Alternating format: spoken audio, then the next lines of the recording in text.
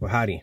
Hope you're doing all right whenever you happen to be watching this. So, I was thinking about how life is kind of like a highway or a road. And I'm an extreme personality. I take things to their limits and I've seen the end of the road and the bridge is out. And that's what Jesus has been telling us is that there's one path to him and if you take the other paths you're just going to end up coming off a dead end bridge. The road is out. It's a dead end path. Don't go that way. You want to trust the good shepherd the good lord almighty lord of lords king of kings. He's higher than everything. If you love anything more than him that's not the way to be. He is so loving and forgiving and merciful. And he wants us to come back to him because he doesn't enjoy destroying people. He doesn't enjoy putting people in a place that they were never meant to, to exist in. But if you don't take part of his salvation, if you don't say Jesus Christ is Lord, then there's no other box to put you in. There's only two choices. Life or death. Those are the two choices. Eternal life with Jesus Christ or eternal torment with people that, you know, that none of them want to be there, you know. It's just, it's your choice though, because see this spot right here? This heart, it's your space. Everything else, it belongs to Jesus. But this place, this is this is your own spot that you put whatever you want there.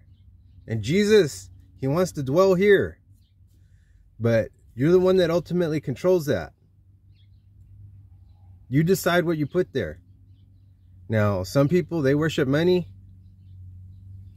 That, that ain't where it's at. Some people, they worship power. That's not where it's at.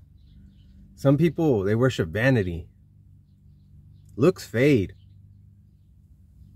Looks fade. You know?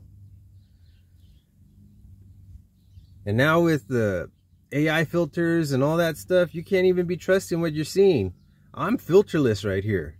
Like, I I don't mess with that stuff. Like, I'm genuine. This is what I look like. I don't have no filters on.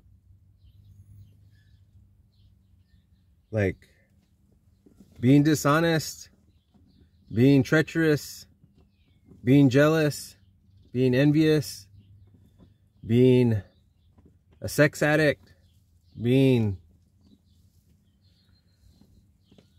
ill-willed in any way, that's not appealing to me. I crave the truth. I crave what's good. And I pray that you do the same. I should pray Dear Lord Jesus, help me crave what's good and righteous and true and beautiful. Those are the things I want. Now, other people, they may not want those things, but I pray that you would want those things because they're, those are the things that are good. Just lead me in the, the path to things that are right and true so that I can dwell with you, Lord, because if you like to sin, if you like to do things that are wrong, you can't hang out with them. You will burst into flame if you were to come into your presence. Uh, man, that ain't where it's at. You don't want that. You want life. You want light. The true path to what's right. His name is Jesus Christ, Emmanuel, Yeshua, HaMoshiach Christo. He is so awesome. And that's why I talk about him all the time. And I won't stop. Because why would you? You know, like I'm not going to trade truth in for a lie because I know where it ends because I've, I've done seen it and it's not appealing. It's not fun. It's not a good time. And I would just highly recommend that you go ahead and, and turn to Christ Jesus while there's still time. So I love you. Jesus loves you. Have a wonderful day.